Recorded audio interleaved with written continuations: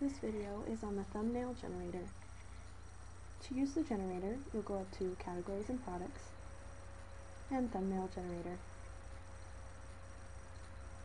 Before you get started, you would want to make sure that you do have all your images uploaded via FTP or the file manager to the images forward slash products folder.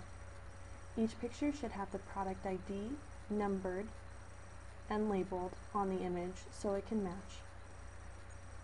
Here, once you've done that, you can generate any kind of option, either the product page images, thumbnail images, or secondary images. Once you're done, you would hit Scan Images, and that would locate all the files for you. You can also synchronize secondary images here.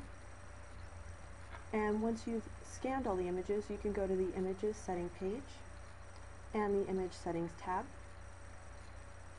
Here you would be able to edit the thumbnail size depending on category or product, and also the proportionate size.